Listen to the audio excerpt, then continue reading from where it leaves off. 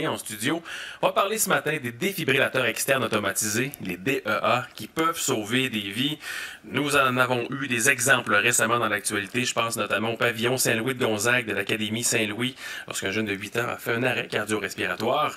Le cardiologue Paul Poirier, qui milite depuis 10 ans maintenant pour doter tous les établissements scolaires de la province d'un tel appareil, il demande maintenant à la communauté médicale de s'impliquer pour financer le projet. Il est avec nous en studio, Dr Paul Poirier. Bonjour. Bonjour, Guillaume. À ses côtés, Hélène Verrette, elle est directrice du pavillon Saint-Louis de Gonzague de l'Académie Saint-Louis. Madame Verrette, bonjour. Bonjour, M. Dumas. Je vais commencer par vous ce matin dans mon préambule. On en a parlé, vous avez été un peu au cœur de l'actualité euh, pour parler des défibrillateurs.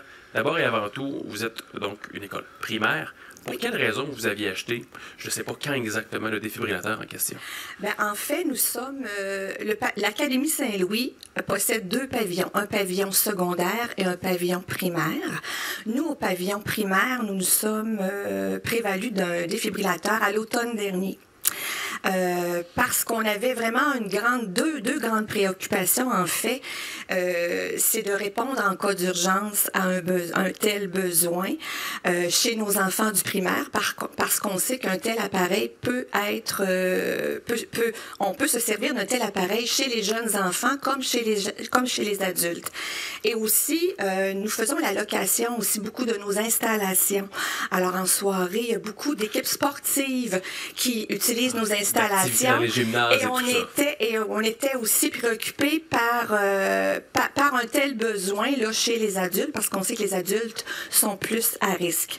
Mais pour notre pavillon secondaire, ça fait déjà plusieurs années euh, qu'ils ont des défibrillateurs. Ils, ils en sont rendus, je pense, à leur quatrième défibrillateur pour l'installation euh, totale au secondaire, les installations extérieures et intérieures. Et dans votre cas primaire, j'ai envie de dire malheureusement, mais il a servi, mais il a servi de la Oui. bonne façon aussi. Que, est-ce que dans le fond, fait. ça a tout simplement conforté votre décision de vous dire c'est ce qu'il fallait faire absolument? Absolument, il fallait le faire. Alors, euh, bien sûr, on s'est frappé dans les mains à plusieurs euh, reprises parce qu'on en a eu la preuve vivante que un tel besoin, c'est vraiment une nécessité dans toutes les installations scolaires. On n'est jamais à l'abri d'un tel événement, euh, même euh, lorsqu'on on est en compagnie de jeunes enfants. Alors, ça peut arriver n'importe quand. Donc, oui, on était euh, très contents d'avoir euh, choisi de, de, de, de se munir de ça, oui, l'automne dernier. Docteur Poirier, quand vous entendez des histoires comme celle-là, est-ce que ça confirme les raisons pour lesquelles vous militez pour les fameux défibrillateurs? Ben oui, ça confirme, c'est clair que ça confirme. Mais au Québec, on est en retard dans l'action. Hein? Je veux dire, au, au Manitoba, euh, à l'île du Prince-Édouard, hein, c'est pas une grosse province, là. En Ontario, c'est tout obligatoire sur le RCR dans les écoles avec le défibrillateur. Alors, nous autres, ça fait 10 ans. Faut savoir que les défibrillateurs dans les écoles puis le RCR dans les écoles ne relèvent pas du ministre de la Santé, relèvent du ministre de l'Éducation. Alors, ça prend un accès au ministre de l'Éducation. Le ministre de la Santé, c'est assez facile comme docteur d'avoir un accès. Le ministre de l'Éducation, c'est plus difficile. Et il faut savoir que s'il y a eu un partenaire en 2005, un partenaire privé-public, avec la Fondation ACT, qui est la fondation canadienne, qui s'occupe c'est une OSBL, donc c'est un, organisme sans but lucratif, qui s'organise de faire la formation et d'implanter le RCR et le défibrillateur dans les écoles au Canada. En 2005, ils ont fait un partenaire avec le, gouvernement du Québec. Puis là, ça le prenait porteur de ballon. Avec 2007, j'ai embarqué dans le dossier. Puis finalement, là, ça débouche. De quelle façon ça débouche? Et qu'est-ce que vous voulez exactement? On dit toutes les écoles secondaires au niveau public doivent être dotées d'un défibrillateur. On est en, en termes de chiffres, on en est où Ouais, actuellement? le, le ministère euh, de, l'Éducation, 2000, en le décembre à peu près, a dit que le RCR a impliqué le RCR dans le curriculum. Donc, c'est dans le curriculum maintenant. Le RCR, à partir de secondaire 3, est obligatoire des écoles pu- publiques du Québec. Ça, c'est réglé. C'est une très bonne décision. C'est une très bonne décision oui. parce qu'avant, ce n'était pas obligatoire. Et quand il y avait du RCR dans les écoles, il y avait une attrition d'à peu près 20% parce que le professeur qui enseignait le RCR changeait de classe, changeait de cours, changeait de... Puis là, il y avait un turnover incroyable. Fait qu'on n'était pas capable d'assurer une pérennité. Fait que le RCR, il est obligatoire. Le RCR n'implique pas la formation des défibrillateur. Donc, il manquait des défibrillateurs dans les écoles. Il y a 700 écoles secondaires au Québec. Je les ai toutes les affaires, comme dire pourquoi embarquer un défibrillateur dans les écoles, c'est des jeunes, ils écraseront pas, ils mourront pas, c'est Ils sont pas eux en autres. santé, ils ont un problème cardiaque c'est à cet exactement Ouais. ce que madame nous disait tantôt. C'est pour les morons qui viennent là le soir jouer au hockey cossum puis aller manger des, des, des frites après. C'est pour ces gens-là, entre autres. Un. Deux, après ça, tu as toute la gang de jeunes qu'on va former au Québec qui ont, auront un secondaire 3 et qui seront for- euh, formés au moins une fois dans leur vie à RCR défibrillateur. Et qui sont capables de réagir Oui. en, en cas d'urgence. Là, j'en ai tout entendu. Il y a des petites écoles secondaires de 30 élèves et moins en secondaire 3. Pourquoi eux autres? Mais je dis, quand t'es dans le fin fond de Robertval, puis ça te prend une demi-heure l'ambulance de se rendre, t'es aussi bien d'avoir un défibrillateur dans ces écoles-là. Fait que ça fait 10 ans que j'entends tout le monde dire, ça n'a pas de bon sens pour rien. Fait que là, moi, j'ai accosté la FMSQ. C'est pas une campagne de la FMSQ. Le docteur Philippon et moi, on a accosté la FMSQ Donc, les médecins spécialistes du Québec. médecins voilà. spécialistes, et la FMOQ, les omnipraticiens. On est 19 000 médecins au Québec. OK? Il en manque 160 Sur les 700 écoles? sur les 700 écoles. Il en manque 160, comprends-tu? Mm-hmm. Ça, là, calcul, là, 19 000 là, par 160, ça fait pas beaucoup de monde. OK? Fait que j'ai besoin que les, que les médecins achètent un défibrillateur. Vous allez me dire, ça vaut combien? C'est à peu près 2500 pièces. Moi, j'ai eu des prix gros à 1500 pièces. À 1500, l'appareil est installé, il Installer fonctionne. toutes les pancartes, toutes, puis en plus, le gars, il a reçu d'impôts. Parce que c'est une fondation que tu donnes. Là, là, je peux pas croire qu'à un moment donné, là, c'est one-shot deal. Parce que la, la, la Fondation Act va faire signer à l'école un contrat comme quoi l'école maintenant est responsable de leur défibrillateur et de la formation. Comment si tu veux? Fait que tous les chirurgiens chez nous n'ont acheté un, les chirurgiens cardiaques, tous les cardiologues chez nous n'ont acheté un, les gars de Lévis, les filles de Lévis, les cardiologues, vont tous en acheter un. Là, j'attends les réponses du CHU, OK? Mais les médecins spécialistes du Québec, qui sont les chirurgiens cardiaques, les chirurgiens vasculaires, les anesthésistes et les cardiologues ont tous reçu un email jeudi de la présidente de la fédération, puis j'attends les clics. Et là, vous attendez des réponses, des clics et des chèques. J'attends des clics. J'attends, moi, je veux juste des clics. Une fois que c'est réglé, là, dans mon enthousiasme délirant, si j'en ai plus que 160, c'est parfait. Parce que ça, c'est une belle démonstration. C'est une école à deux pavillons. Oui. Où c'est que tu le mets, le défibrillateur? Parce que dans les écoles secondaires, il y en a qui ont plusieurs pavillons. Que quand tu me donnes juste un par école, peut-être qu'il en manque. Savez-vous ce qu'ils sont à l'Université Laval, les défibrillateurs? J'en ai absolument aucune Au idée. PEPS. Il n'y en a pas ailleurs. C'est ça. Incroyable, Ouais. hein? À l'Université Laval, mon pavillon de médecine. Sur l'ensemble du campus. la- oui, j'appelle tous les, tous les mois de septembre, j'appelle Garda, moi, pour dire que j'ai quelqu'un qui écrase dans le venderie. Juste pour le fun. OK? Parce que ça n'existe pas dans le non? Oui, je le fais pour vrai. Puis là, le gars dit oui, oui, oui, on arrive. Non, non, t'arrives pas. Parce que une minute, OK, de, de- de non-intervention, c'est 10 de décès. Fait qu'après 10 minutes, t'es 100 mort. C'est réglé, oui. J'aimerais qu'on parle aussi de l'appareil en question. Surtout, il est euh, facile à opérer. C'est un appareil euh, assez simple. Madame Verrette, vous en Oui. possédez un maintenant. Est-ce Oui. que c'est si compliqué? Qui chez vous est capable de le faire fonctionner? Je vous dirais à peu près tout le monde, tous les adultes et même les enfants sont cap- se- seraient capables de l'utiliser en situation d'urgence parce que l'appareil nous dit quoi faire.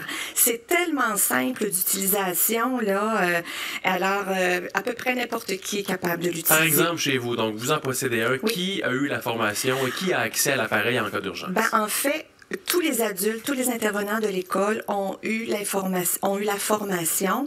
Il s'agit d'une vingtaine de minutes à consacrer à ça et c'est tellement important. Alors nous, ça fera partie de nos mesures d'urgence euh, à chaque année. Donc, euh, il y a une petite, vidéo de présentation qui accompagne l'appareil lorsqu'on en fait l'acquisition.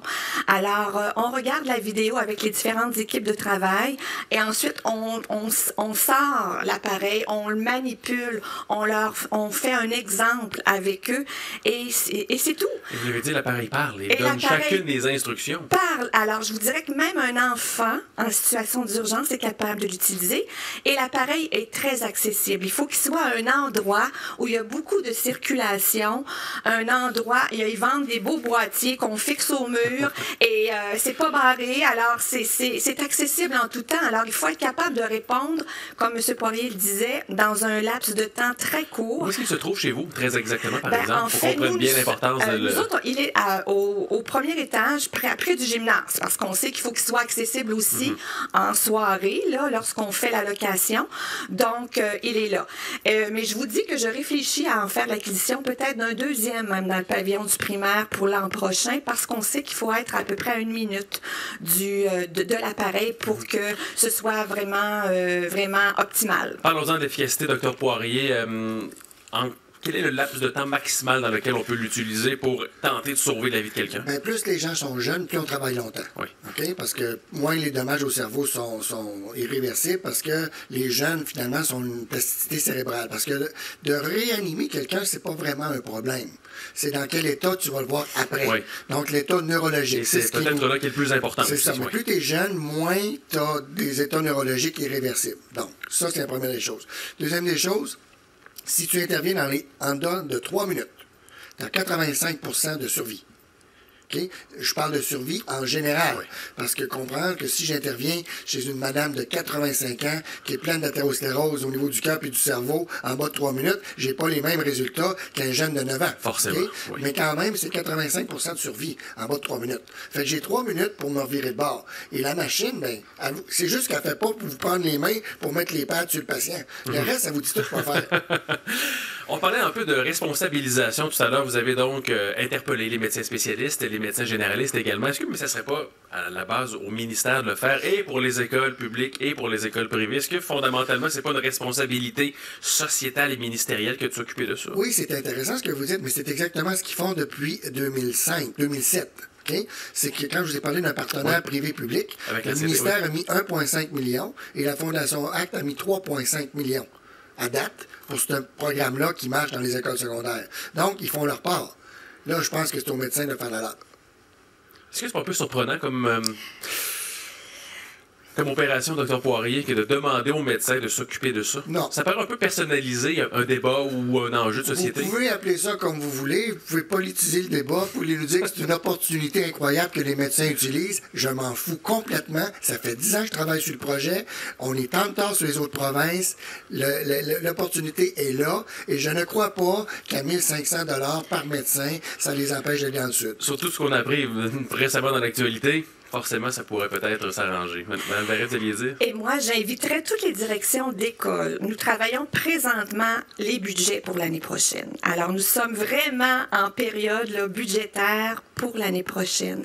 Je pense que c'est un investissement, un incontournable à prévoir dans tous les budgets de chacune des écoles quand on parle d'une somme d'à peu près 1500 dollars pour sauver la vie de quelqu'un, que ce soit un enfant ou un adulte.